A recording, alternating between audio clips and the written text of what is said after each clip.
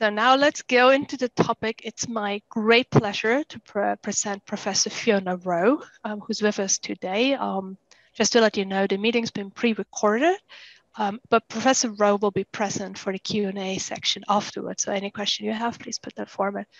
Uh, just some words on Professor Rowe. She's a professor in orthoptics and health services research at the University of Liverpool in the UK and has, her research focuses on both static and kinetic visual field evaluation, control of ocular alignment, but also acquired brain injury.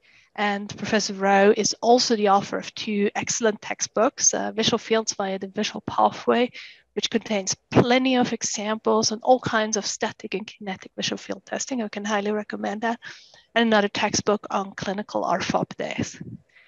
So thank you, Professor Rowe, for joining us today. It's a pleasure to have you with us. So it's my great pleasure to welcome Professor Fiona Rowe. Thank you, Monica. So Professor Rowe, uh, for many decades, really, kinetic perimetry was the only means available for visual field testing. However, when static perimetry was invented in the 1970s, uh, it has largely overtaken kinetic perimetry.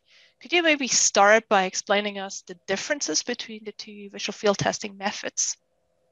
Yeah, of course. Um, well, kinetic perimetry is well described by its name. Perimeter means a boundary, and perimetry is a measurement of the boundary.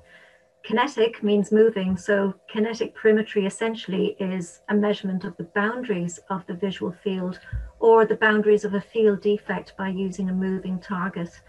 Um, the target typically comes from an area outside the patient's visual field area, and they respond as soon as they become aware of that target in their field of vision. Static perimetry means that the measurement of the visual field is done in a static way. So the targets are shone on and off, and the patient responds if they've seen that brief flash of light. Um, kinetic perimetry builds up a series of visual field boundaries, and that's based on the patient responses to small and large size targets and using different brightness levels for those targets.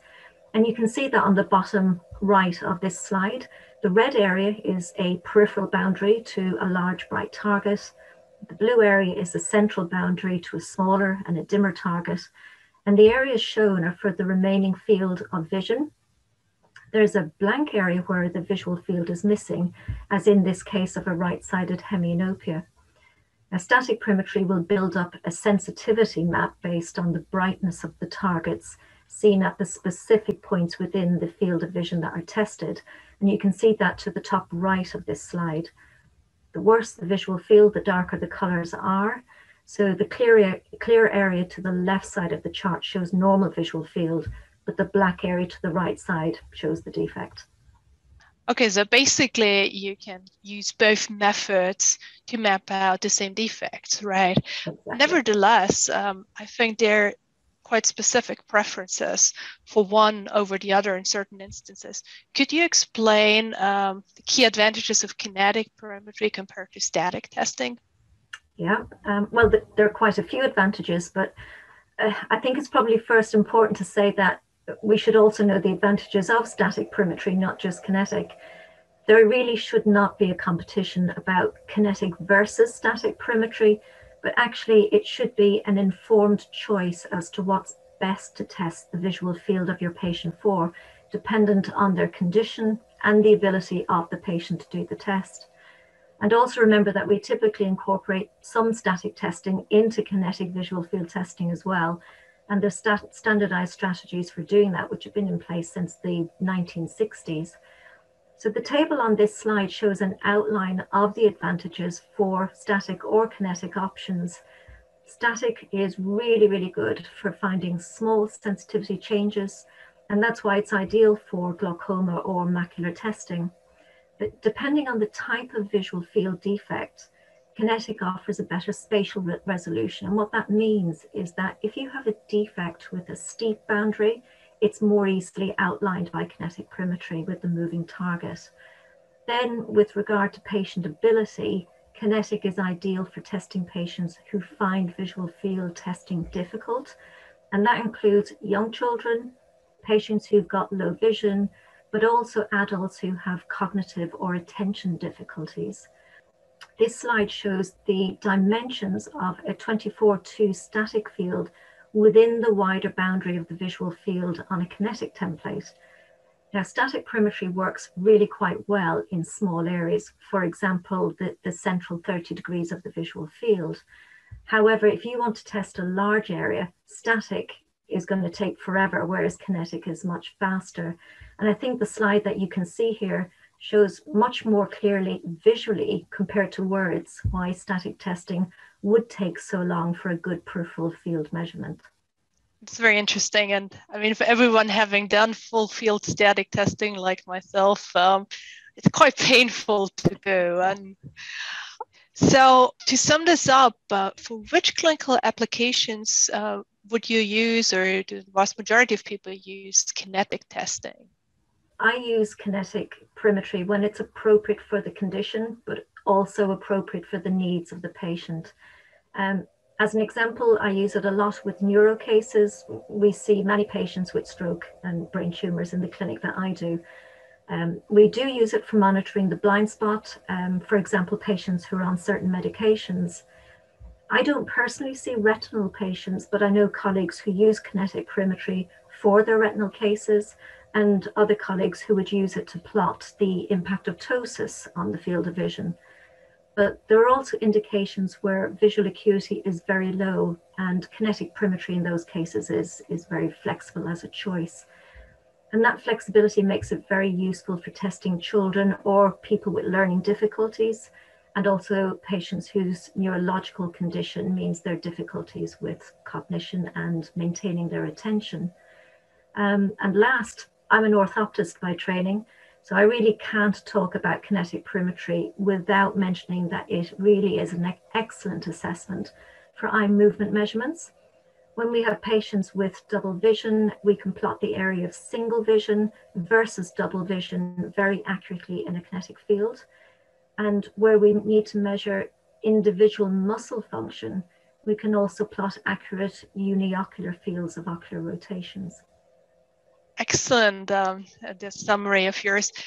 Do you think other institutions and practices would make the same choices on when to use kinetic perimetry, or do you think that varies? Yeah, that question's a little bit harder to answer because um, I can't formally answer for many other practices, but I, I know what, what we do and, and what many of my colleagues do. And naturally, there are going to be variances in how people use kinetic perimetry because of the types of conditions they may deal with more than others. I do have some information on neurological conditions and the variances um, in practice in, in different areas. And that's based on a systematic review we did and published in 2018. The aim of that review was to evaluate the use of perimetry in common neurological conditions. Now, specifically, these were idiopathic intracranial hypertension, optic neuropathies, chiasmal compression, and stroke. And the review included um, 330 studies. And in addition to capturing the types of perimetry programs, which is shown on this slide, we also logged data on the patterns of visual field loss reported in these conditions. The most common forms of perimetry were the Humphrey 24-2 and 30-2 programs and Goldmann kinetic perimetry. So as you might expect, peripheral field patterns were reported more for stroke and chiasmal compression, while central field loss patterns were reported more for IIH and optic neuropathies. And what this slide shows is that static perimetry was used far more for IIH and optic neuropathies, whereas static and kinetic perimetry were both used um, fairly routinely for um, stroke and chiasmal compression. But what was evident was that the program choice was often not informed by the condition and the expected field defects for that condition. The 24 2 program was used a lot, despite the fact that it's not designed to test peripheral visual field and its lack of diagnostic accuracy in that regard. So, further research is now ongoing to evaluate this further and we wanted to find recommendations for testing in neurodisease that is informed both by the condition as well as the related visual field defect patterns, and not simply by familiarity with just one specific program type. Which, of course, um, from a practical point of view, makes a difference, right? It, so let's start looking at the chiasmal and post-chiasmal lesions that you talked about before and the benefits of kinetic testing. Can you explain more in detail what the benefits are, how you test there? Well, first of all, I think an awareness of how visual field loss develops is helpful for these types of lesions. In chiasmal lesions, we see the majority of our cases anyway having pituitary adenoma more than other tumors or neurological conditions affecting that particular area. Um, pituitary adenomas first compress the inferior part of the optic chiasm, and that corresponds to our superior field of vision. These days, patients are much more likely to be detected earlier on than, say, 20 or 30 years ago. So, although I still see some cases with extensive bitemporal hemianopia, it's far less. And more often, I see mild bitemporal superior defects now, static threshold perimetry quite often will detect these mild superior defects. However, the restriction of central testing to 24 or 27 degrees superiorly, depending on whether you choose a 24 or 30 um, degree program, it does mean that early superior defects that are further up, higher up in the field of vision can be missed.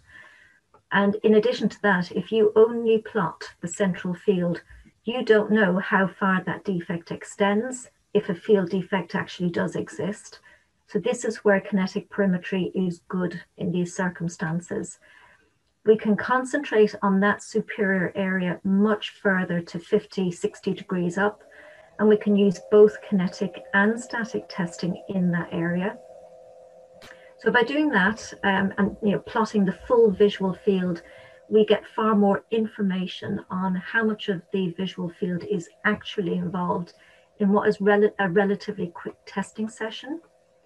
Now, a few years ago, we looked at diagnostic accuracy specifically for pituitary adenoma cases and comparing kinetic fields. Um, if you go back to the previous slide, Monica, Sorry. that's all right. Um, so we were compa comparing kinetic fields with 30-2 and 24-2 data. And these were, um, this was in patients with known visual field loss. So what this slide shows is the comparisons between the central static testing and the kinetic testing um, for the, the left and right eyes and, and both eyes combined. Now, overall, comparisons showed that static testing with 30-2 missed 15% of defects that were present and 20% of defects were missed with the 24-2 program. And these, in all cases, these were defects that were confined to the outer superior field. Now, some clinicians assume that kinetic testing is going to take much longer than static testing, but we showed in this study that actually the testing time was not substantially different between the two. Kinetic testing took under 11 minutes, um, and static testing was a mean of nine and a half minutes. And bear in mind that kinetic needs a larger area, including, but it includes static points and it provides more diagnostic detail. So that extra minute is, and it's worthwhile. So the slide you've moved on to now actually relates to a different study. Um, and this would be post-chiasmal lesions. And we've done extensive studies with neuro cases, particularly stroke survivors with visual field loss. And most of those would be hemianopias, as, as you might expect. So from a practical point of view, um, we will often, often see patients at a very early acute stage for a diagnostic assessment. And because of this, we have to allow for fatigue, cognition problems, and so on. Now, this is where we find kinetic perimetry invaluable because you can slow the test, pause it, repeat the vectors, alter them, you know, whatever you need to do.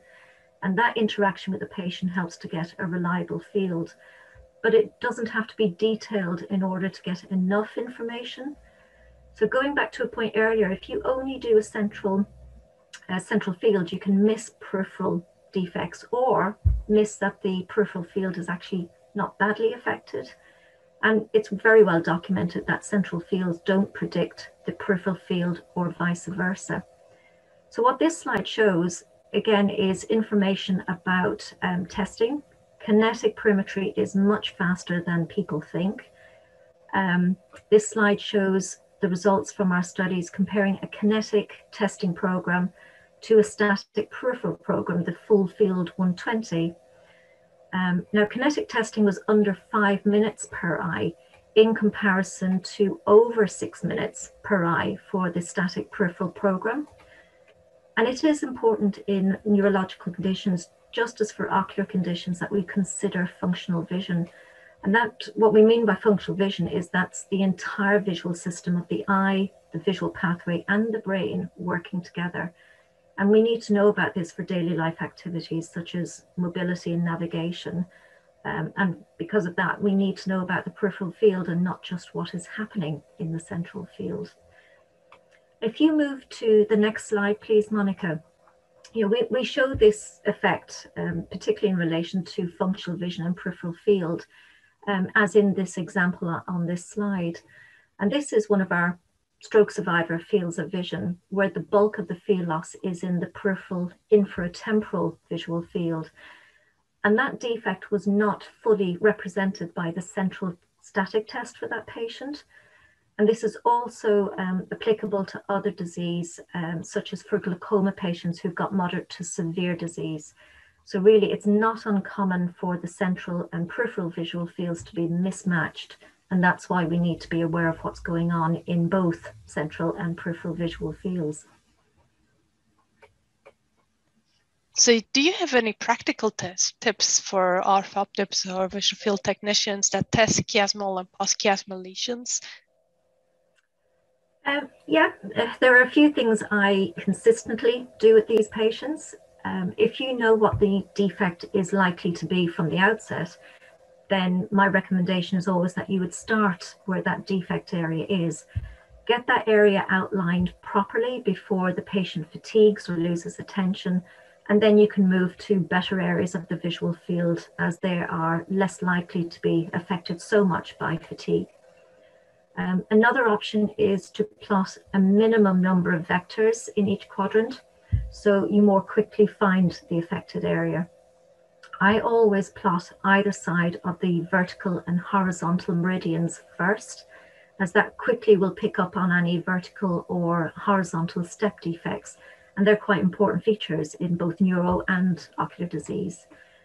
Definitely make use of the reaction time vectors that you have within um, kinetic perimetry on the Octopus 900, because being able to adjust for delayed reaction times can make a big difference in the quality of the visual field result.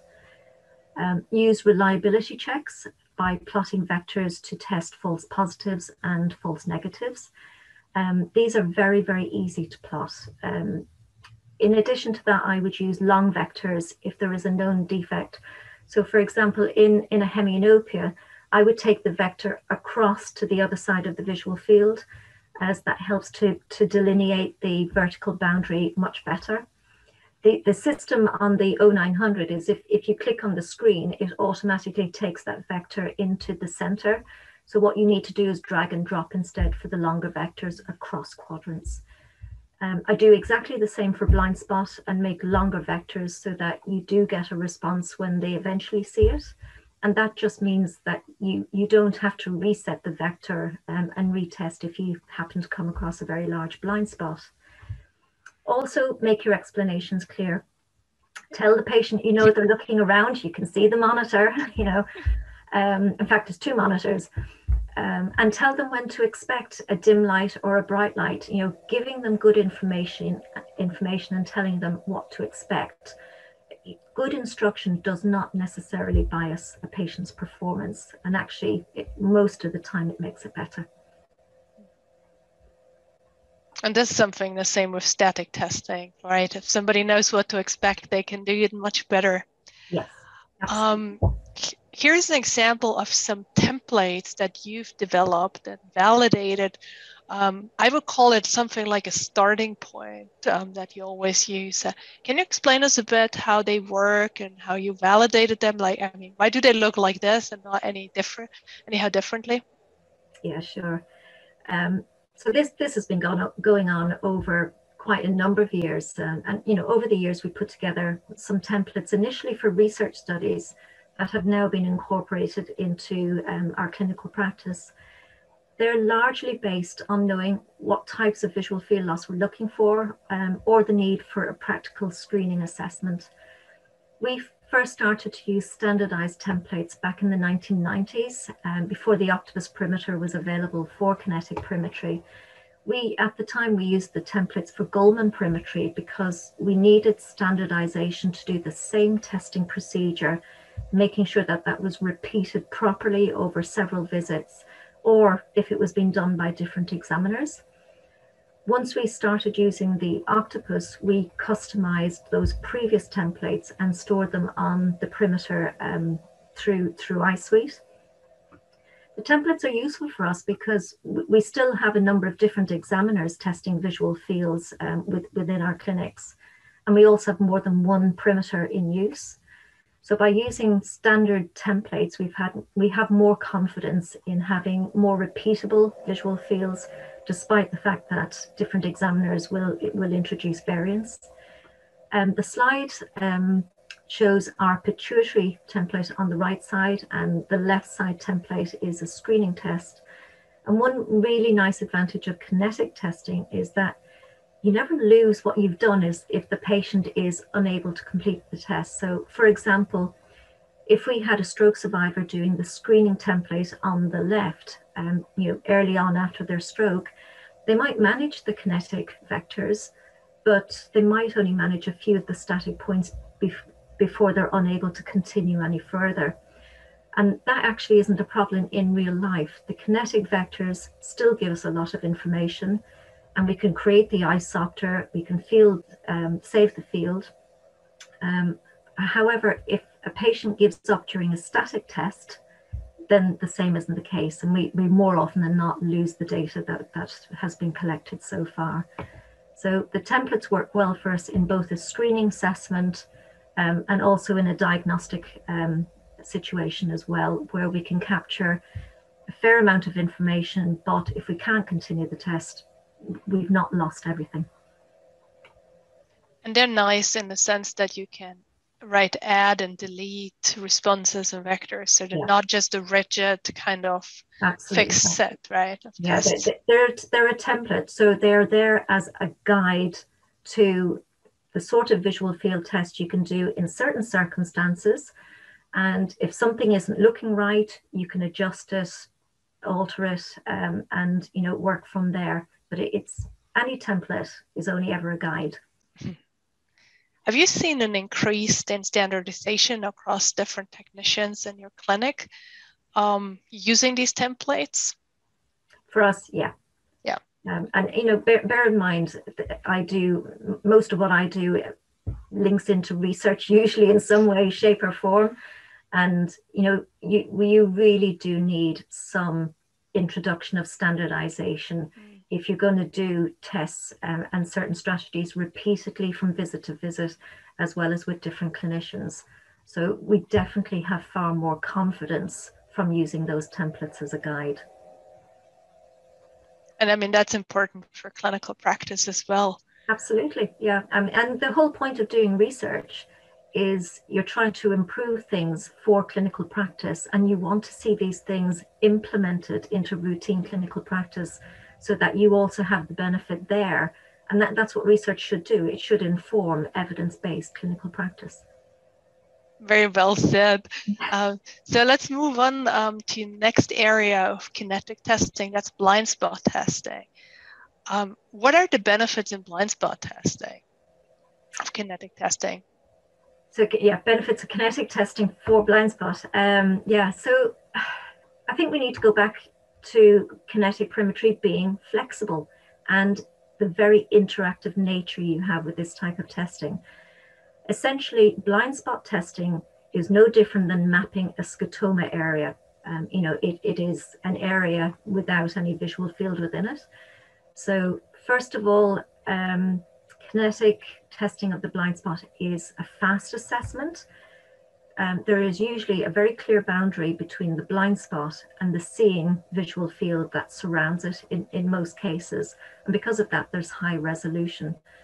Um, now, if you look at the schematic on, on the slide, you can see that testing the blind spot can be quite hit and miss in a standard 30 degree testing program because there may just be one or two points that fall within the blind spot area. It, it just depends on the location of the blind spot. Um, you can choose a static testing program just to specifically test the blind spot, but that takes a lot of time. And the example you got on here, there are 30 test locations in that example. You can just imagine the time that would take or you can rapidly test with kinetic assessment ju with just a few kinetic vectors or with a combination by adding in some additional static points. There's also more control, I think, with testing the central area near the blind spot with kinetic testing.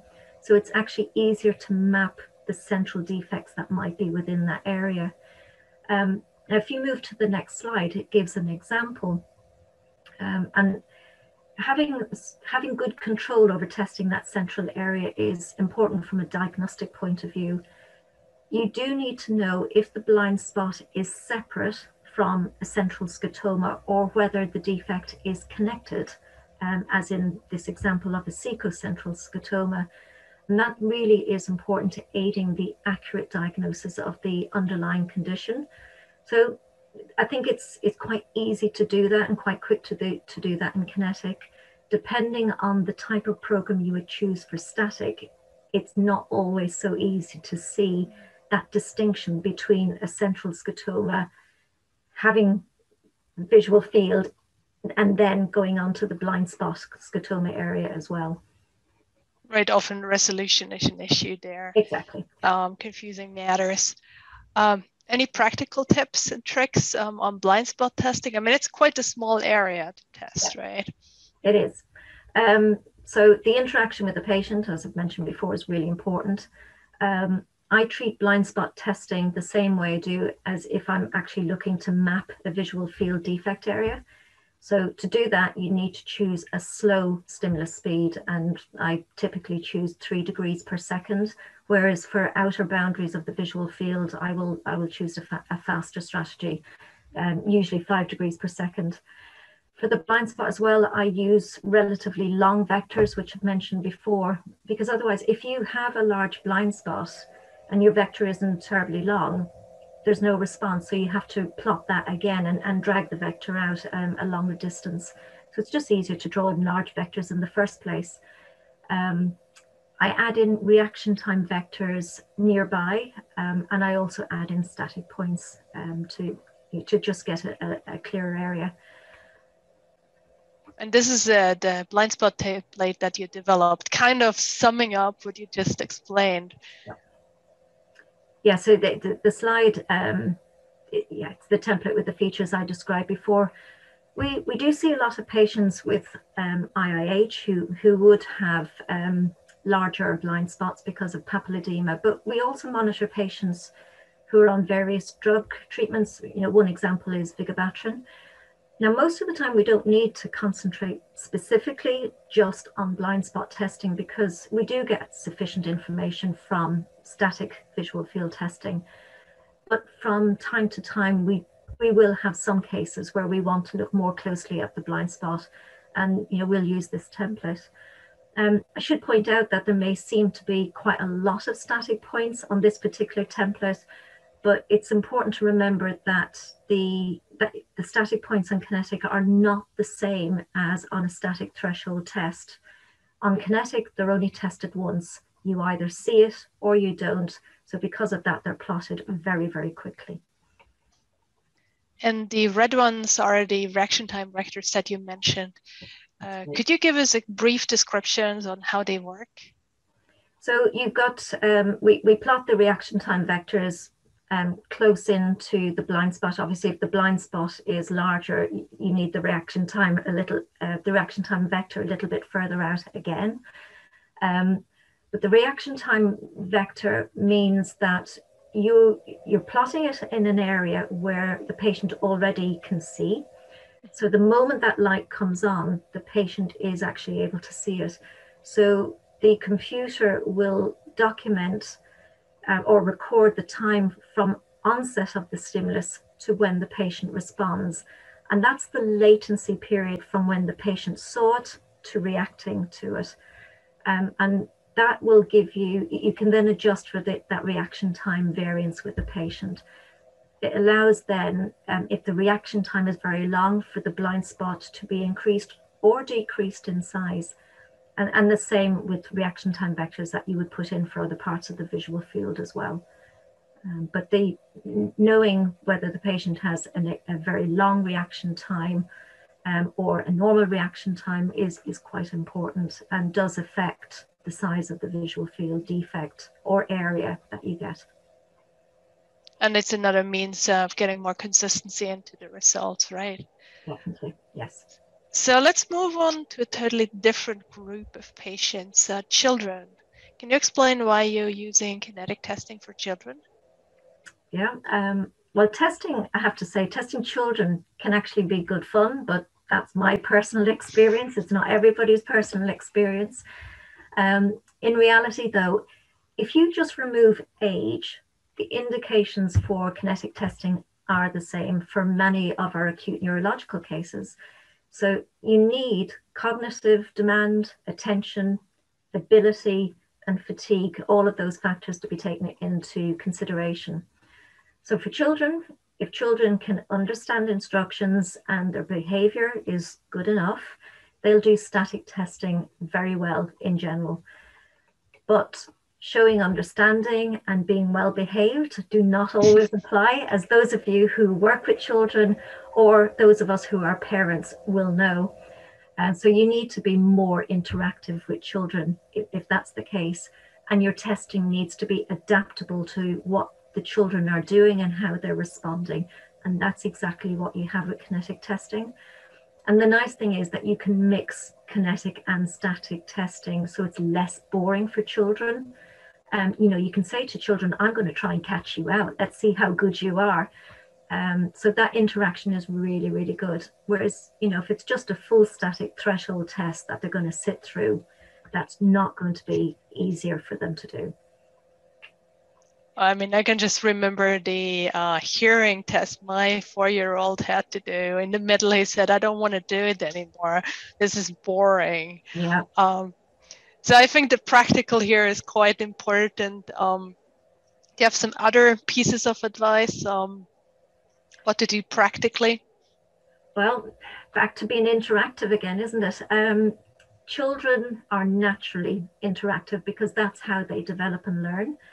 Um, I do think it's probably easier to test them d- these days because they're so used to computerized games. I mean, my one of my nephews is four, uh, the other one is 14 months old. Both of them very adept with mobile phones, um, and, and that's the same for pretty much all children. Um, so they're they're now used to computerized games, and I think although children may be nervous about being in a hospital clinic or an office for, for testing, I think they're probably less likely to be apprehensive about the equipment these days compared to how a child might have viewed a perimeter 30 years ago, for example. They understand games. They understand that in a game you need to respond to targets. So I think it's a case of introducing the test as a game. So on their terms, and at their level of understanding.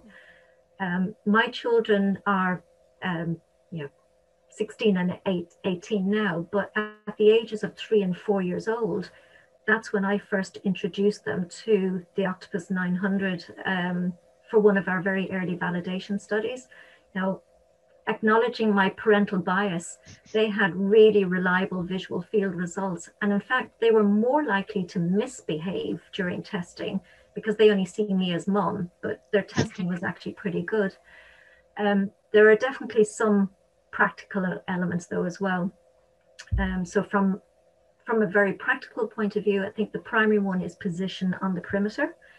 um, you do need to build up the chin rest and there is a specific adaptation you can order for this and you know it, that's shown quite clearly um, on this slide you can see the build up um, chin rest um, but in addition it's just getting them into position first so they can kneel on a chair or they can sit on the parent's knee just to get that correct height position as well you, you don't want them straining to, um, to mm. have their chin on that chin rest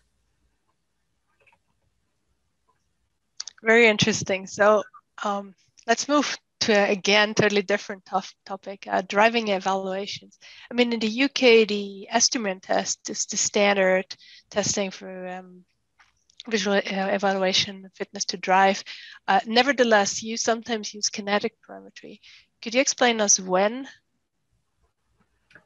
Yeah, so um, you're right. The, the UK requires a binocular Esterman that's written into our DVLA guidance and it, you know, can, it conforms to the EU driving directive at present.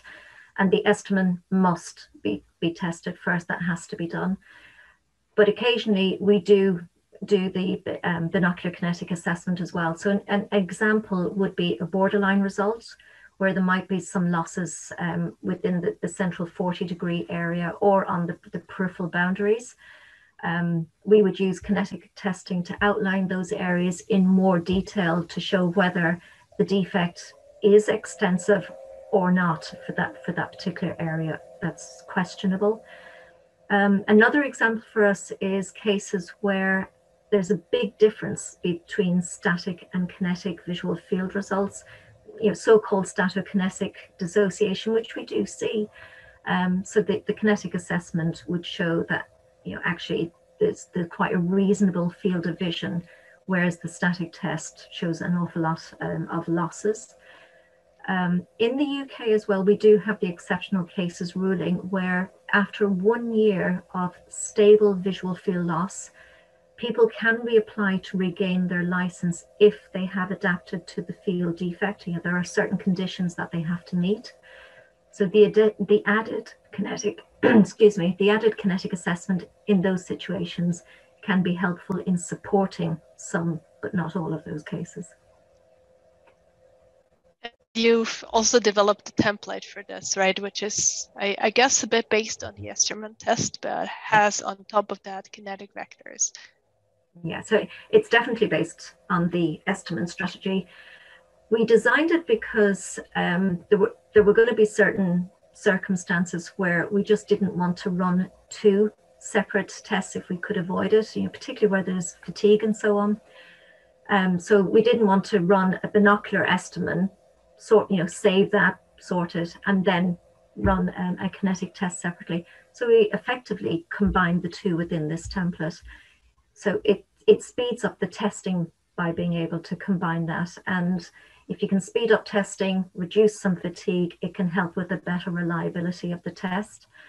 Um, the template has static points laid out as for the Esterman program. You can see the, the Esterman program on, on the left-hand side of the screen there. But in addition, the, the template has a number of kinetic vectors using the size 3-4E stimulus, which is the same stimulus size used for the Esterman program. Um, the kinetic vectors only plot the peripheral field boundary. Um, but so it's useful, but uh, you know it, it, comes with the caveat. We, we don't tend to use it that often. Um, for all driving queries, we do have to do the Esterman, but this is a very useful backup option for the small number of cases where we do want a combined assessment to speed things up. Excellent. Now let's um, move to totally different topics.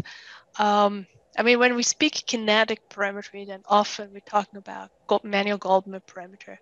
I know that you at Liverpool have started using the Octopus 900, I think in 2008, mm-hmm. and since then you think I think you've replaced all your manual Goldmann perimeters with an Octopus uh, for kinetic testing.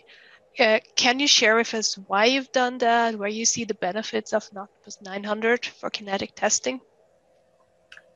Yeah, so I think 2007 is probably when I, I first saw the Octopus 900. Um, um, but yeah, we it was 2008 when we we got one um, first for research and, and then very quickly for routine clinical use. At the time we got the 0900, the, the Goldmann perimeter that we had um, was about 30 years old um, and it, it was well serviced, well maintained, but it hadn't had a filter change in years and years. So the target brightness was no longer as, as it should be. And it stayed working, but you know, it became impossible to get parts for it. So, you know, in the end, it just became essential to adopt a changeover for good. Um, I think in many ways we found it better to embrace a full changeover completely to the octopus um, and just stop using the Goldmann. And, and since the changeover, there have been considerable advantages. Um, we've been able to use the octopus in the same way that we previously used the Goldmann. Um, however, we very, very quickly came to value the semi-kinetic mode where the examiner still decides the strategy, but the perimeter controls the speed. And that has really helped with standardization. So we've got consistent results by removing operator bias um, from moving the target. Um, the other positives, um, I remember calibrating the Goldmann. Um, I, I don't, I mean, I think we probably tried to calibrate the Goldmann maybe, you know, once a week. I know some people did it maybe once a couple of months. It, it that varied very much from clinic to clinic. But the octopus is calibrated automatically when you turn it on, which is great. It's it's just done for you. Um, the octopus also automatically records your results. So you don't need to worry if your patient notes go missing. Um, if you do have electronic patient records, then you can obviously get the, the system to link up to that EPR system as well. And, and there's some nice features on the Octopus. So for another example, it's easy to log repeat vectors without having to delete previous vectors. You can add catch trials very, very easily You've got the reaction time compensation, which we've mentioned earlier. And the screen shows um, underlays for the expected age match normative values. So you, you don't have to rely on clinician experience now if you're trying to determine if a field is constricted or not. So lo lots and lots of little advantages there. And of course, the templates that you can automatically store and just pull out, right? Yeah. Yeah, you, um, you, can use the you can use customized templates that have already been made available for the Octopus, or you can create your own. So and, and it's very easy to customize your own templates. I'm sometimes hearing the argument that an automated kinetic perimeter can never offer the same as a manual Goldmann perimeter. Would you agree with that, or what are your thoughts? No, so I don't agree with that. um, I've been able to use the octopus in pretty much in the same way as I used to use the Goldmann. Um, and bear in mind, I've been using the Goldmann for 20 years before the Octopus 900 came along. I do acknowledge that I've changed how I operate the Octopus as I've used it more and more. Um, and essentially, I've, I've got used to the Octopus and I just feel I maximize its use now, although I'm you know open to always learning new things with it, particularly as the software develops. Um, and in a way that you know, that's the same for the Goldmann. Any examiner um, had to learn and get used to doing the Goldmann. Um, and with more experience using the Goldmann, they could maximize its use fully. Um, early on for Octopus, I used to use the freehand mode from time to time but you know very very quickly i was using the semi-kinetic mode most uh, for most patients. Um, i've not used the freehand mode now for a long time. I think the last time i used it for it was for a patient who had functional visual field loss so it was really really useful to do the spiral field freehand. Um, but you know I, I, just feel i've completely adapted now to the advantages of semi-kinetic perimetry and, and just find it very easy and quick to use as to whether the octopus does the same as the Goldmann, well, th- that that was our question back in 2008 when we first got the octopus. You know, we weren't going to embrace it unless we knew that it did exactly what the Goldmann did for us. And at the time, there was very little published on validating the Octopus 900. So that was one of the first things we set out to do with our own studies. Um, so the, the entire aim of the studies were, does the octopus perform just as the Goldmann did in terms of providing accurate results. And remember, you know, the Goldmann perimeter was our gold standard for kinetic perimetry. And most of us working in neuropractice would not be without kinetic perimetry. Um, and the studies showed, yeah, the octopus did live up to expectations with very accurate representation of visual field um, defects. Um, the octopus retains, crucially, it retains the key important features um, of the Goldmann. So as an example, it's still a full bowl cupola, whereas other perimeters are not. Um, and a number of other perimeters um, have moved to having aspheric bowls to make their perimeters smaller. But that hardware choice introduces ceiling effects um, in the world of perimetry. So for, for us, we choose to adopt Octopus for kinetic perimetry um, for, for those variety of reasons. And I think you, you just said, um, right, you mentioned ceilings effect. Um, here's a study you've done comparing, uh, I think, the Goldmann or kinetic with the Humphrey 850 and a kinetic uh, feature. So can you explain the ceiling effect, um, what you found out in the study? Yeah, so th this study was comparing the Octopus 900 um, with the Humphrey 850. And we took um, a group of 15 um, uh, participants with normal visual fields and we plotted the 5-4E, 3-4E, 1-4E um, and 1-2E targets um, on both perimeters exactly the same way. Um, and what we see here is um, bottom right is um, my visual fields. So, you know, I, I, don't have to worry about confidentiality of another patient. Um, so my visual fields um, for the octopus on the bottom and for the Humphrey 850 um, on the top. The Humphrey has an aspheric bowl so that basically means it cannot have a full vertical range in the superior and inferior visual fields because, because of that, um, that hardware. So presentation of targets are limited to 40 to 50 degrees superiorly and inferiorly. So you can see here, you know, that it, it's, it's almost like a, an oval, it, it's cut. Whereas on the octopus, you know, you, you get that, that nice full, full visual field. And that's just because of the full bowl that you have in the Octopus 900.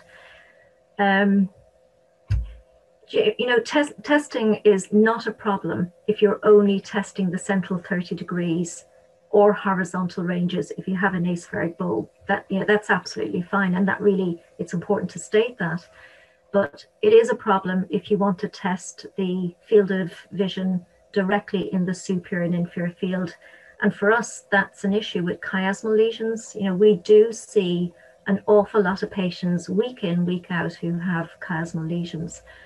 Um, and in addition, if you want to use kinetic perimetry for eye movement testing, as I mentioned before, so if you want to do a binocular field of single vision or a uniocular um, range of ocular rotations, you can't do this with an aspheric bowl because the range of target movement just isn't enough. Um, if you move to the next slide, um, Monica, um, I mean, I, our study only looked um, in a very, very small number of participants with Humphrey versus um, Octopus 900. But this is um, a Japanese publication by Chota Matsumoto's group. Um, and they, they did a comparison of four um, perimeters, kinetic perimeters. Um, so that's quite a really nice paper to read. Um, I've extracted out just the results section um, on this slide, but they noted the same issue with Humphrey kinetic perimetry, but also practical issues with other kinetic perimetries, um, such as you still haven't had examiner bias, or there was difficulty drawing the isopters or filling in the scotomas. So um, definitely a paper that I would recommend people read if they're if they're interested in looking at these comparisons. Um, I know that getting back to the manual Goldmann and why people love it so much, um, I often hear the argument there's so much personal interaction. Um, and then I get this automated device and that's kind of gone. How do you feel about that? Yeah. yeah. yeah. Uh, now, I don't think interaction is lost at all. And, and, you know, how many times have I mentioned interaction already? Um, you know, my colleagues and I talk to patients just as we did before, and I still feel just as engaged with the examination as I did with Goldmann. If anything, I feel I have more control um, with the octopus perimeter. Um, you know, I can check as many vectors as I want to, but I don't, I know now that I'm not directly influencing the patient's response because the perimeter is moving the target at a consistent speed. You know, on Goldmann, I know I will have altered the speed unconsciously and sometimes consciously when I was testing the patients. So I have much more confidence now in the consistency and the repeatability of results because that operator bias is removed. Um, and particularly in my work where there are a number of examiners doing kinetic perimetry, you know, it's not just me consistently doing the testing um, from, from visit to visit. Um, but essentially the, the devices act the same. And so the perimeter interaction is similar. You know, you still make the choice of the target size and the brightness. So that's the same. You move a mouse instead of the pantograph handle. And this time you don't knock anybody on the back with the, the handle flying around the back of the, um, the Goldmann. So that's, that's a definite practical um, advantage. Um, and the template is the same, except it's on screen instead of on paper. Um, I remember in the very early days, some clinicians saying, but, but you know, the colors are different. You know, we, we always used blue for the 1,4E, but in actual fact, it's just a, it's a computer. You can change the color um, for your stimulus sizes. So, you know, all, all of that remains the same. Um, and you know, even if you choose to use Octopus Perimetry with a preset template and run it in automated mode, you still maintain interaction. In static perimetry, if you run an automated program, you can't alter it once it's running. It has to do what it was programmed to do. So if there's a problem in a static um, program, you either accept it and let the test run, or you have to restart or abandon the test altogether. With automated kinetic testing, you don't lose anything. You can step in at any time, you can reset things, make adjustments, and work with the patient until you get the best test that is possible for that patient at that particular time. Um, and one other thing, I think I've now got a better view of the patient with the octopus. On the Goldmann, the patient and me were on either side of the, you know, we're completely opposite sides of the perimeter. So I had one eye on their fixation through the telescope and the other eye on, on the visual field plot. Whereas with the octopus, I'm on the side. So I can see the eye in the monitor, but I also see the side of the patient. So I can see how they're sat at the perimeter and I can make sure that you know throughout the test, their overall position and comfort is being maintained. Um, and I can help head position if I need to. You know, I can put my hand at the back of their head to keep their head in position on the chin rest. You know, those of us who do field testing regularly know the patients who back off the chin rest or they move their head. You know, you can fix them in there if you need to, and, and that's much, much easier to do when you're side on as opposed to around the back. So these are all very good arguments. And i mean for me never having been trained on a Goldmann, just not having to worry about the drawing i find a plus. I don't know how i would learn the manual Goldmann obviously it doesn't apply to those who've already learned it. Um, just one last point uh, we do keep hearing um, that you get more inconsistent responses, that instead of the beautiful round isopters, you get something more star-like, and that's a criticism. Uh, what would be your response to that? Um, I, I don't, I'm not so sure that we do get the same inconsistent patient responses. Things look a little bit more different um, than, than on Goldmann. Um, you know, as, as I said before, the, testing is still the same in terms of you setting the, the vectors, changing target size, brightness, and all of that. Um, I do think the positioning definitely helps. It, it feels better because you can support the patient better while you still have full control of the test. In actual fact, the patients probably, you know, some patients say that they find it more reassuring that you're beside them as well rather than behind. Um, I, I think when you set the position of the vectors, it gives you time to watch the patient as well when the test is running and you're watching you're watching for the response before you then set the next vector as well so the whole thing flows quite well. Um, i've mentioned before that the catch trials should be built in um, and that's including false positives and false negatives and that shows quite quite nicely on on this slide um, that gives you a little bit more information about ensuring you've got repeatability. So, you know, repeated testing of the random vectors for false negatives gives a very good indication of repeatability within the test. Um, and it highlights variability that you can then target and, and, and test that further if, if that's what you want to do. Um, and you know, apart from random checks, if you do have a suspect vector, you can just click on it and it, it'll repeat again. So there are a lot of things you can do to iron out potential inconsistencies, um, but still very similar to how you did it with Goldmann. All right. Um, I think in the interest of time, let's move on here. Um,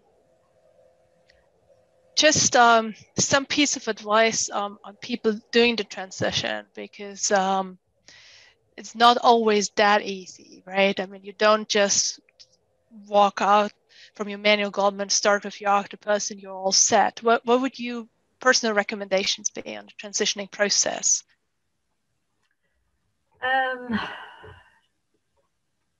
well, I think there's always going to be challenges and discrepancies when you're changing from one perimeter to the other. You know that that's natural.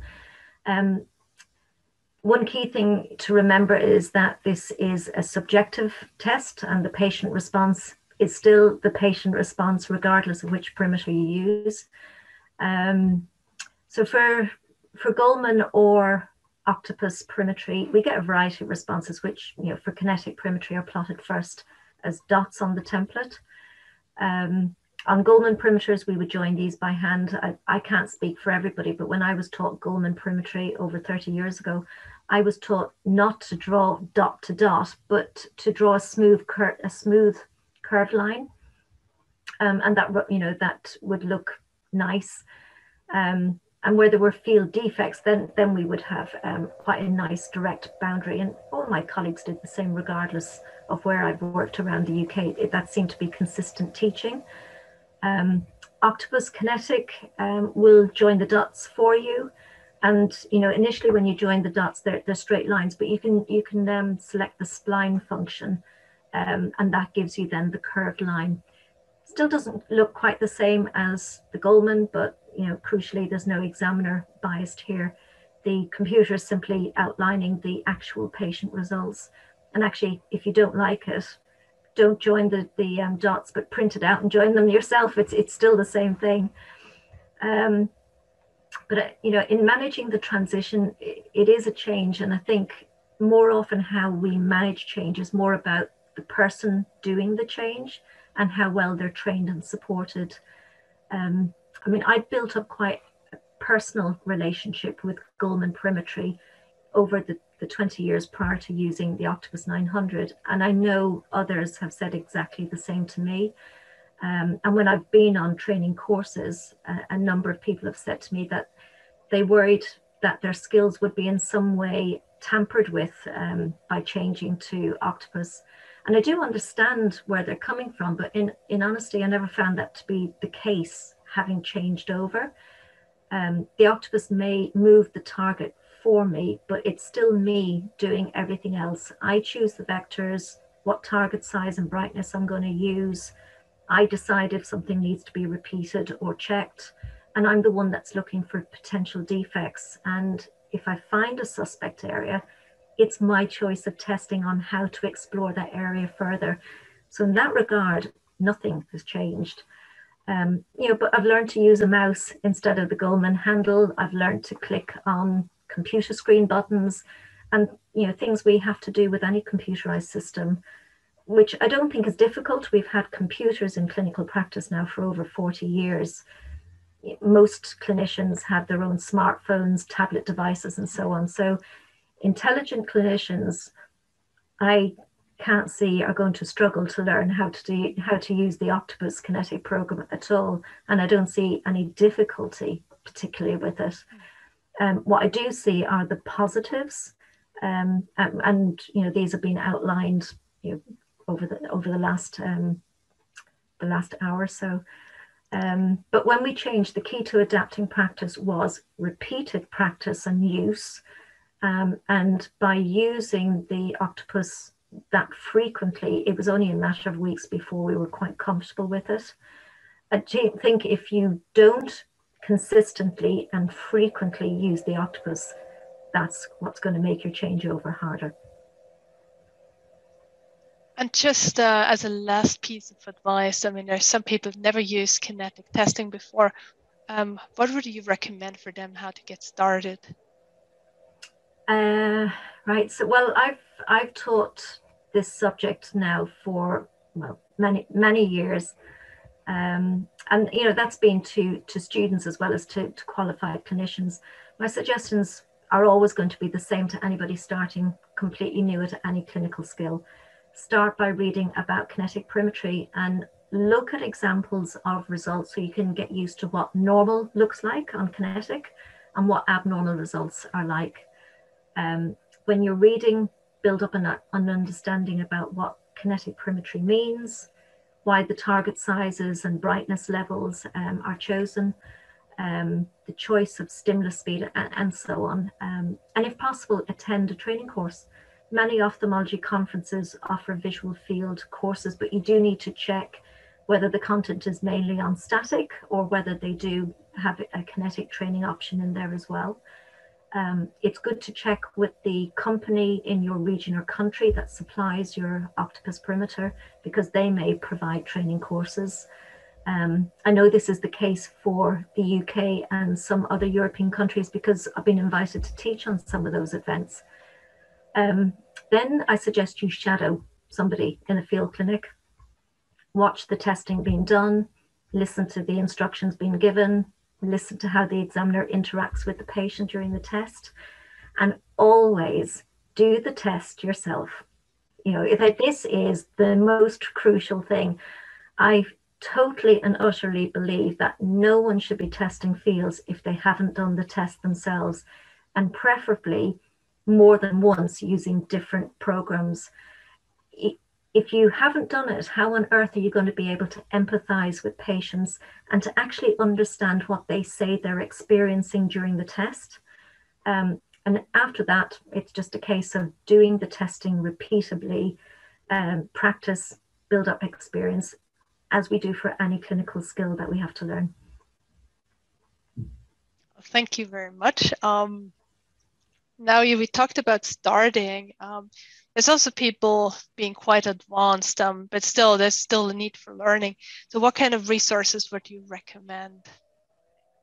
Um, there, there's a number of textbooks written on visual fields, um, and the more recently published versions have more examples of kinetic visual fields in them. Um, but I'd strongly recommend reading the published um, research on kinetic perimetry because that is very specific to kinetic perimetry. It'll give very good background and results from using kinetic, along with some very detailed discussions about the importance um, of those results and that, and that type of perimetry for certain conditions um, and indications. Um, anyone can do a literature search on PubMed, it's free, um, and you can pull the, the publications on kinetic perimetry from that but actually a, an alternative quick access to references specific to kinetic perimetry is to look at the reference sections in in the various textbooks. So in the Visual Field Digest, um, it's I can tell you because I've got to be here beside me. Um, there we go. It's page 233, and there is one. Yeah, there's a full page of references there.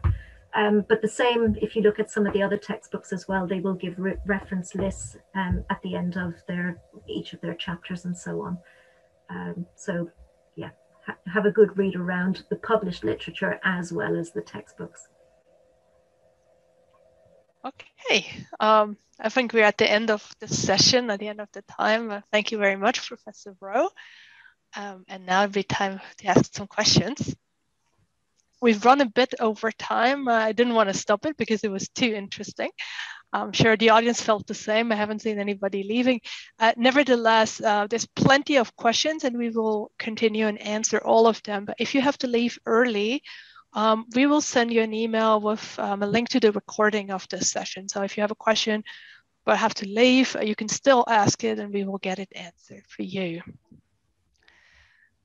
So let's jump right into things. Um, so there's the first question um, on a comparison of the Humphrey kinetic versus the octopus kinetic. I mean, you already talked about that ceiling effect. Um, we don't need to go through again, but in terms of you know functionalities, options out there, did you notice any further differences between the two devices?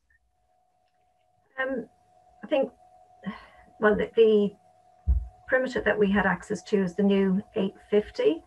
Um, and I suppose the one thing that struck us straight away about the 850 is the improvement on um, the Series 7 um, Humphrey, in, in that it, it, was more, more, more user friendly than certainly it had been before. But in terms of um, its comparison to the Octopus, what we found is that when we did repeated vectors, um, you don't see all the repeated vectors where as you do on the Octopus.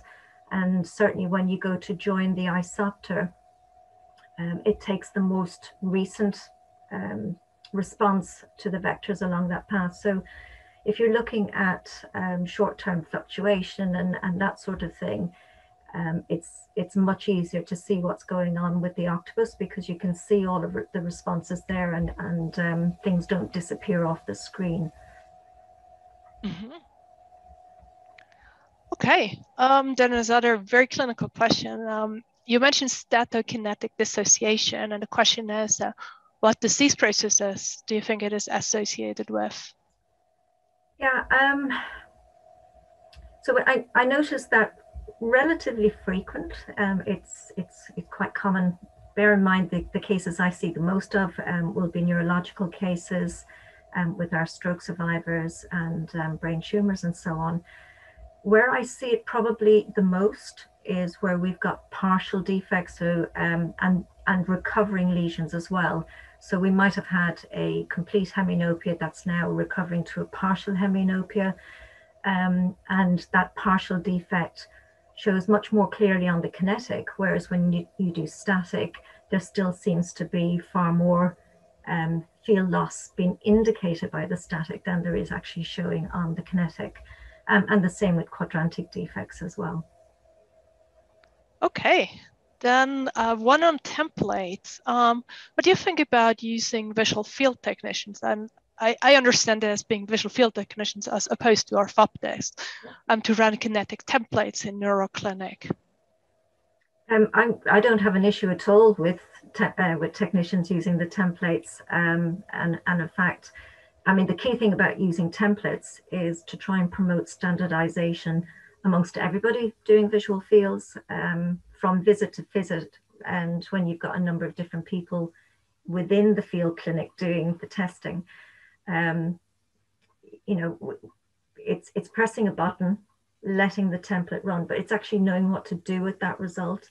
And, you know, the, the same thing applies with static. It's, it's about knowing what to do and one of the key things here is making sure that whoever it is doing your visual fields has had sufficient training and support um, with that skill set. Sure, and I mean, I think for everything we do in life, that's important. Um, there is a technical questions on the template in terms of how you changed it, if I may answer that, because it depends on the software version really, um, how to do it exactly. Um, so my advice would be to reach out to your local Haag-Streit customer support to help you with that. Um, it's probably the easiest. I think the other answer is gonna be a bit, bit too extensive uh, for, for this training. Um, there's another question and kind of an interesting one, um, which is, um, so why, you know, why is kinetic perimetry not more often used or, you know, I mean, some people are calling this a thing of the past. yeah, we, I, I hear that quite a lot as well. Um, and it goes back, there, there's, a, there's a bit of a training element here, but we need to remember that when we're doing static perimetry, there's also a training element there. Um, I think people have really got used to static because, you know, if you're, if you're only going to choose one program, or if you've got a list of conditions and a list of programs, it depends on what goes on in your clinic, but people get used to choosing one particular program and, and just running that. So what's gone alongside that, I suspect, is that there's now less consideration towards choosing the right test for the condition. Um, and there's also some misperceptions, I suspect, about the timing of the test as well. Um, people assume that it, it's going to take a very long time to test with kinetic and more than static. And I don't think that's necessarily the case. And certainly from the research studies that we ran, where we also plotted the duration of test alongside all of the other factors that we were gathering, that it, that was not borne out. Um, in fact, kinetic in many instances was faster than the appropriate static test. So yes, it's kinetic is not used as much, but I think that really is because we're not thinking about, you know, should we actually be doing that? Is kinetic better for that particular condition and doing what is best for the patient and best for that condition? Right. And you've just managed to answer another question we had, which is on the speed of kinetic testing compared to static. Yeah. I, I, guess it depends a bit on the indication, right? It, yeah, it, it, does. So um, I think if you were to run a full threshold strategy in a patient who has got a visual field test, we know that's going to be quite a lengthy period of time. And kinetic is most definitely as quick, if not quicker, on some of those um, situations.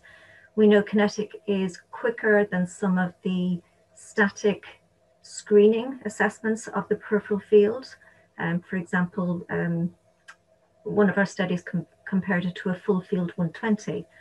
Um, so that was definitely faster there. And if you're just going to do a screening assessment, it's definitely faster. You can do a good screening assessment in a couple of minutes. Right. And I mean, that's definitely also my personal experience. I mean, we have to do for registration purpose some full field extensive tests and uh, we're not very popular in the company asking people to do that. Um, so here's an interesting one on, on manual Goldmann perimeters uh, from a clinic that's using a very old one um, also limited financial resources to just buy a new one a new octopus or something similar um, on the calibration because it's um, the, the light intensity is not as it should be anymore. There's no spare parts. They use the visual field mostly to keep track of patients with retinitis pigmentosa, hemianopia, mac look for macular spares, uh, look for restricted fields, and want to see whether the fields are good enough for driving. And, and the question is kind of, is that still good enough to continue using that old Goldmann? Or do they strictly need to change? And if not, what could, you know, any pieces of advice how they can best use their manual Goldmann that they have? Okay, so I'm so uh, from that question, um, I'm assuming that it's it's old Goldmann. They haven't changed parts in a long time now because you, you, you can't get the parts. If you've got that sort of equipment running with an old filter set, your stimulus is going to be dimmer than it should actually be. Um, so even though you've, you've calibrated it as best as you can, a 1.4, if we take, for example, a 1.4e stimulus target, that should be at a certain decibel level, it's not going to be at that decibel level. The problem there is if you want to compare visual fields over time, you're not comparing like with like. So if you're testing at a repeat visit and the visual field looks worse, the defect looks more extensive in size, for example, then you don't know whether that's because the target dimness is making it worse or whether the field has actually progressed if you're just going to use a very old perimeter just as a yes no screening option, is there a defect there or not, and roughly what type of defect it is, then yes, that's fine. Um, but that, you know, you really have to have that in your mind that you don't have the accuracy there. It's it's just there as a, a diagnostic aid more than anything. All right. Um, I mean, I think that's a good recommendation, a pragmatic one too. Uh, um, here's a very practical one, um, and an, an expert one, I have to say. So try, let me try to get this right. Um, uh, it's from a user who's um, starting from the outside, moving to the center of visual field with vectors, and at some point the patient responds, um, and they want to continue running these vectors. I get I assume to look for islands of vision loss uh, further within the, in the visual field. Um, and they currently redraw all these vectors. Is there any fun- other way of doing that? Um, and I don't think so, right? no, right? So I think uh, I'll take home with me um, that may be something we have to look into as yeah, a functionality. I mean, it, it, or how do you deal with that? It, you just it, you just have to remember you're using the mouse instead of the Goldmann handle. So when, when you have the Goldmann, you'd you would pull it in and you would stop when they responded. And if you knew that you wanted to carry on, then when they responded, you carry on again and say to the patient, "Tell me when it comes back again," and then you carry on. So you're you're constantly moving while talking to the patient. It, to run it in Octopus, you'll click and the target will move in and when the patient has responded, you say, right, when you see it again, let me know. And you just click from where they responded and let it run. So you're just clicking and it does have to run back into the center. I think what will happen is on, on, the Goldmann, obviously, all you're doing then is marking the patient's response. So you just have a mark on the sheet. Your screen on the octopus could get very busy because you've got lots of then of vectors. But there is an option on the um, octopus that you can turn that off. You don't have to show the vectors. And that just leaves the patient response little dot. And those can be joined um, and in the same way that you would have done with the Goldmann. So yeah, you can't you can't you can't get a continuous um, vector. You just can't do that in, in comparison to the Goldmann. But there is a you know there's a way around it, and you just carry on testing as you would have done. Oh, thank you very much. Uh, there's a question on um, the reaction time vectors, whether you put them before the actual vectors you're testing or after. After, after. So after yeah. when the patient's tired, how you do that? Yeah, um, yeah the, the, the, reaction time vector has to run in an area where you know the, the patient can see. Right. Because otherwise you're not testing the reaction time. Um, there is a caveat, obviously, if you if you're using a template, the template has all of the vectors set up, including the reaction time vectors. And if one of those vectors is within an area that the, the patient then subsequently can't see in, then you need to delete that one out and add in one in, you know, in an area where they can see. But if you're doing the test from scratch, you know, you're, you're, you're right. running it bit by bit, then yeah, you just put in the reaction time vectors afterwards when, when you know where the field of vision is. Good. Um, then another one. Um, how far apart are you putting the vectors that straddle the horizontal and vertical meridians? Like, is it five degrees, ten degrees, or you know, no, what's your couple two to three degrees from okay. One. So if the vertical's there, it's just a couple of degrees to either side. Yeah. Okay.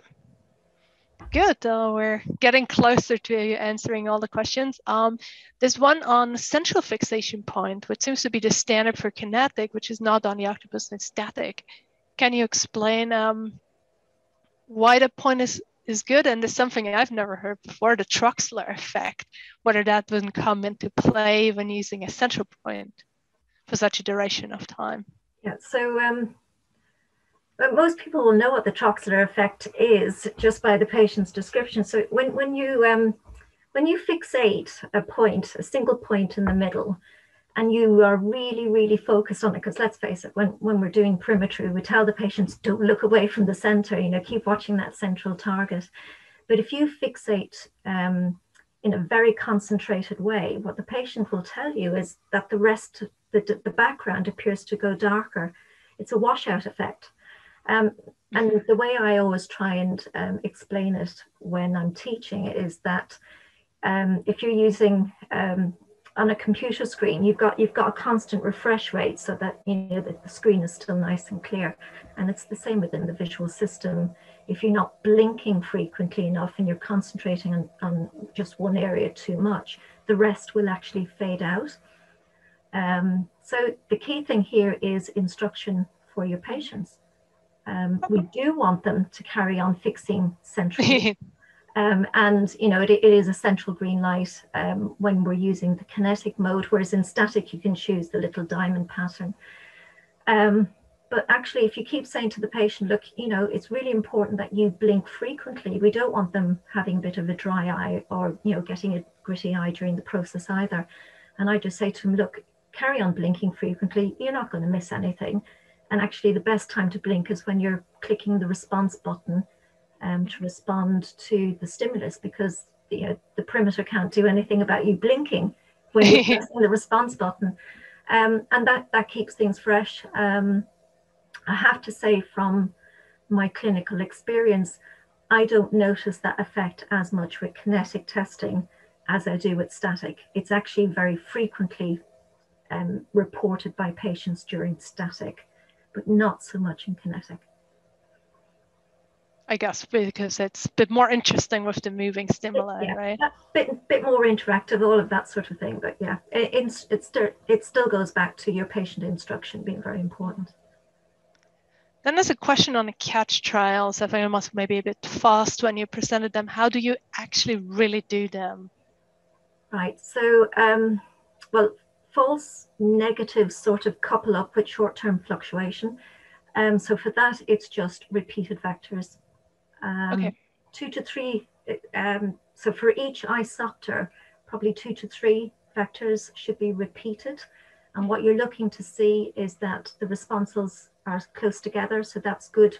That's showing that there's not major fluctuation within the visual field. And also if there was a big difference, if they responded once and not the next time, then um, that's obviously a false negative.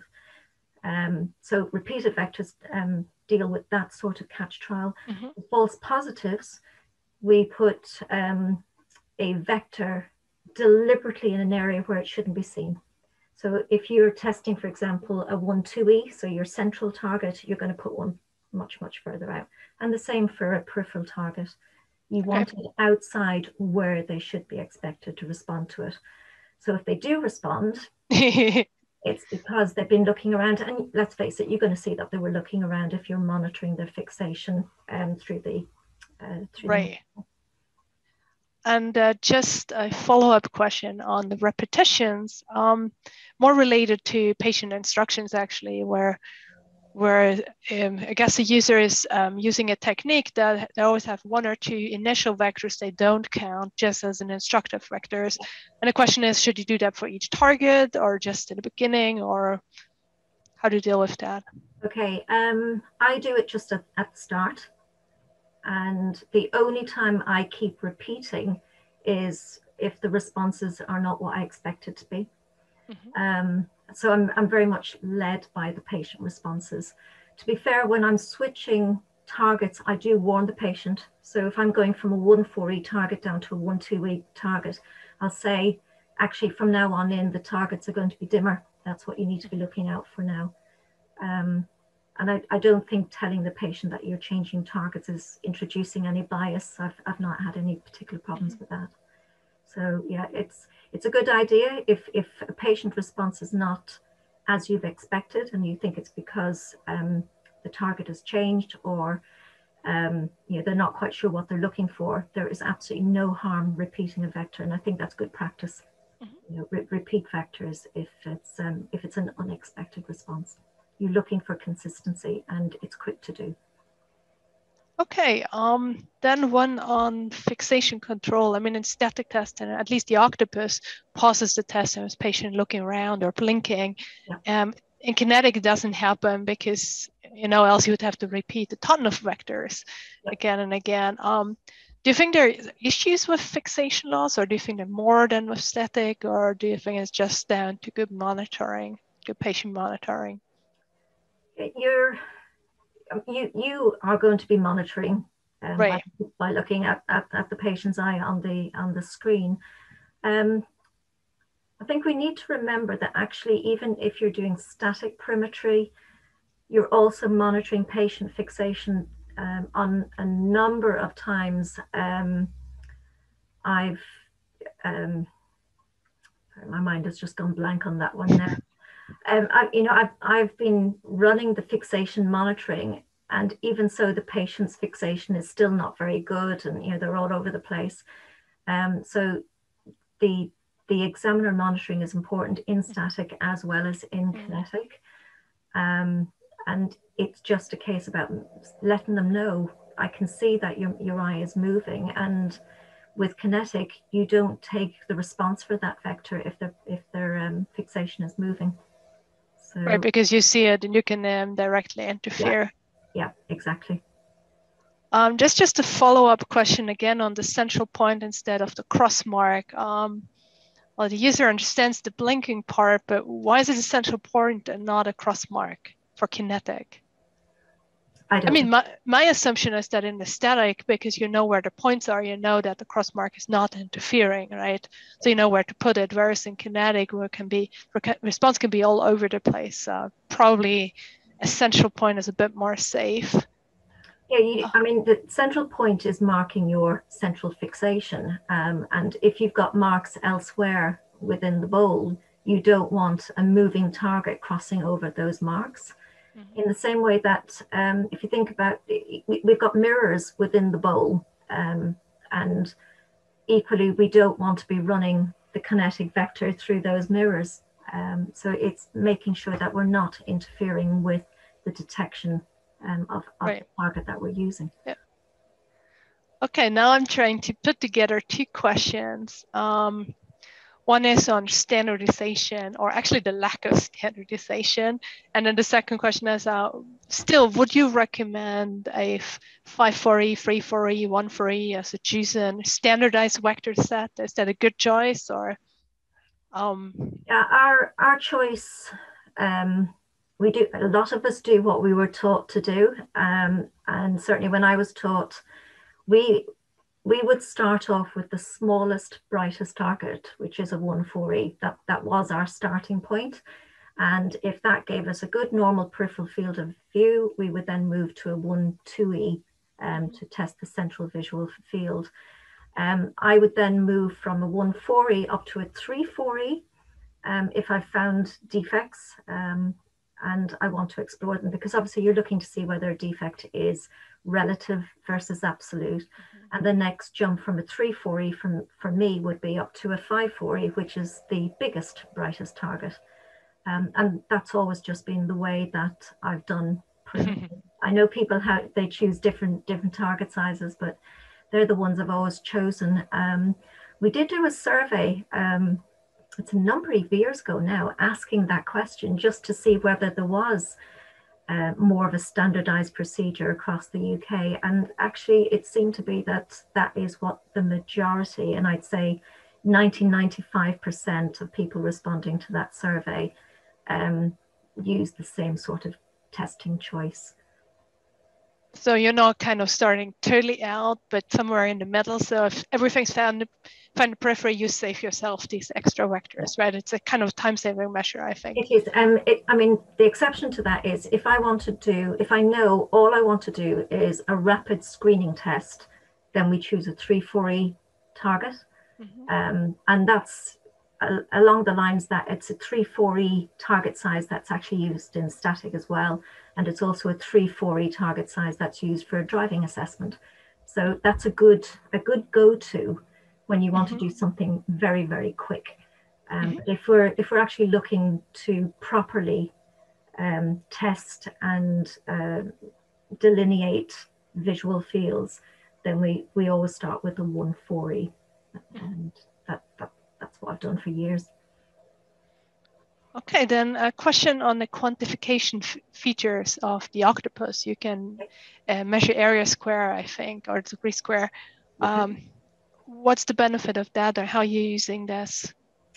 Yeah, so if you when when you've when you've joined your um, your isopter and you right click to join, if you also right click, it gives you the option to measure And then for that particular isopter um, or field effect or blind spot, whatever, whatever it is you've, you've just measured and joined together, um, you will get an area measurement for that in degrees squared. It's the, the use of that is that you're not only then comparing um, the visual field picture from visit to visit, you actually have an area measure that you compare can compare mm-hmm. from visit to visit. So if something is um, getting better, you mm-hmm. see that that obviously the area right. score um, increasing, and it, it's just I think it's just a good thing to be doing as as routine practice um, that you get the area measurement in there as well as everything else. Okay, then we're getting to the end of the questions, unless there's more popping up. Um, the question is on uh, spot checks between isopters to search for scotomas. Um, I know the person answer, asking the question and know he does a whole lot of retinal and peripheral retinal um, visual field testing as well. Yeah. Um, could you comment on that? Is it as important in neurological testing? Yeah, yeah. Um, there's um, very, very little testing that I do that doesn't have spot checks in it. Um, and I will I will do spot checks with a static stimulus. Mm-hmm. So that that that's just routine for us. I think it's actually really important that you combine the two.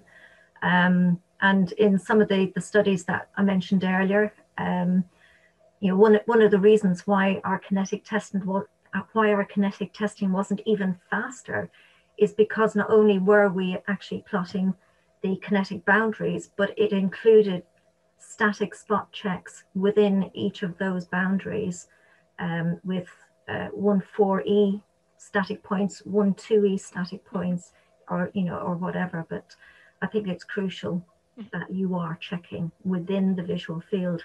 You don't know if you plot a good outer visual field that there isn't a problem in the central visual field and the spot checks help you find that. Mm-hmm. Good. Um, I think we're at the end of the session. I'd like to thank everyone who stayed on. I especially like to thank uh, Professor Rowe. I mean, you've answered so many questions that um, I know are um, open and need to be answered. Um, of course, always in your friendly manner that I much appreciate. We've known each other for quite a long time. Um, for, for everyone, um, before you leave, when actually when you exit, um, there's going to be a quick questionnaire. We'd appreciate you answering the three questions out there, so just that we know how you liked it, uh, what is anything we can improve. Uh, life is learning, so there's always something we can improve. Um, yeah, and as I said, you'll get a follow-up email with the recording. You get a follow-up email with all the resources, the Visual Field Digest resources, the e-learning module, and if you like that lectures, there's three more next week. Um, one in German on basic visual field interpretation by myself, one by Dr. George Rees on perimetry options in challenging cases. And I think uh, most importantly for you listening to Kinetic, uh, the one with uh, Sandra Mooring on Goldmann gems. Um, Sandra has plenty of experience with the octopus. She's a Foxtrot product specialist, been for 17 years. So um, she for sure gives you um, a different view on the same topic. So thank you very much, everyone. Uh, thank you again, Professor Rowe. It's been a pleasure. And have a wonderful day, everyone.